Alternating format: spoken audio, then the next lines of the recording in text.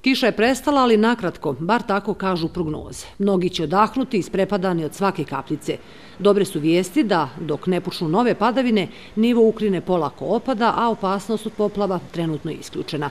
Par sati je stajala na kvoti 2.09, odnosno 3.69, sada nekih zadnjih sati je opala 2 centa. Mi se nadamo da će taj nivo pada ići i u narednim satima, obzirom da nema kiše, tako da e, mislimo da s razlogom ne očekujemo neke e, veće, veće probleme koji su bili juče i toku noći naglašeni na području naše opštine. Štab civilne zaštite opštine Derventa zasjedao je noćaste donio odluku o uvođenju redovne odbrane od poplava i oglašavanju opasnosti od elementarnih nepogoda. Štab je ostao u stalnom dežurstvu u toku jutra došlo do određenih intervencija na pojedinim mjestima kad su pitanju kanali i nasipi na rijeci Ukrina, odnosno obodnim kanalima, zajedno sa pripadnicima oružanih snaga, policije i javni prezeće komunalac smo taj posao odradili.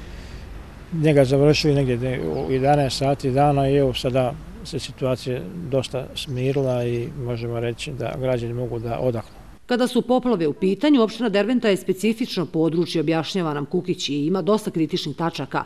Pored Ukrine i brojnih pritoka, problem predstavlja ogromno slivno područje od Čelinca, Teslića, Prnjavora. Na potezu već od Tromeđe pa sve do Lužana, veliki kompleks poljoprivrednog zemljišta je uglavnom uvijek poplavljen, kao i naselja od Agića, dijela Miškovaca, Novog naselja, Omeragića, sve do industrijske zone, Begluka, servisno-komunalnog centra, ukratko preko 2000 objekata kojima uvijek prijeti opasnost.